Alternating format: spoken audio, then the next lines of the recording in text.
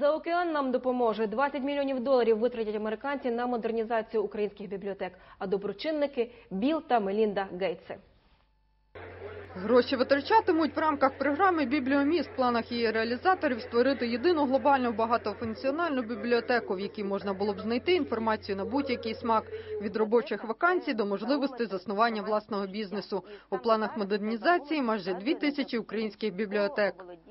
Програма Бібліоміст це дещо інше. Це доступ до інтернету, до ресурсів, до всього того, що є нині в мережі. Розумієте, послуги урядових організацій, доступ до законодавчої бази, е, до електронної до електронного банкінгу, до, до освітніх ресурсів, до медичних і таке інше. У сусідніх країнах вже навели такі бібліомости. У Польщі в читацьких залах тепер не лише можна безкоштовно отримати інформацію у глобальній мережі. Там же проводять курси для людей похилого віку і вчать користуватися інтернетом. У Польщі 70% літературних фондів вже переведено в електронний варіант. Это, например, у нас в Люблине это так, что э, все современные книги, которые сейчас э, в библиотеку приходят, они только в электронном каталоге, их можно найти. Э, и постепенно те, которые в ящиках, еще карточки, все мы сейчас включ- включаем в систему.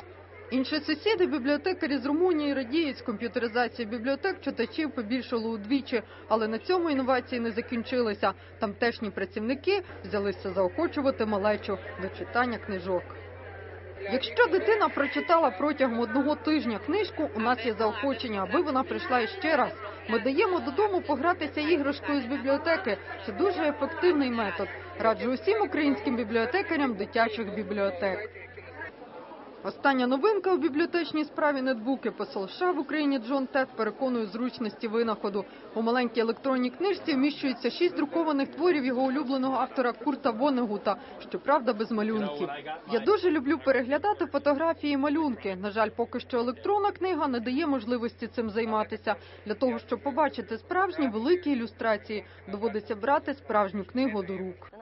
Нині вже 730 українських бібліотек отримали комп'ютерну техніку за грантом. Починається підключення до інтернету. Працівники читальних залів вже чекають напливу відвідувачів. Адже за умови відсутності нової книги це непогана альтернатива, переконані бібліотекарі. Світлана Сич, Денис Таміргалін, 24 години, телеканал Тоніс.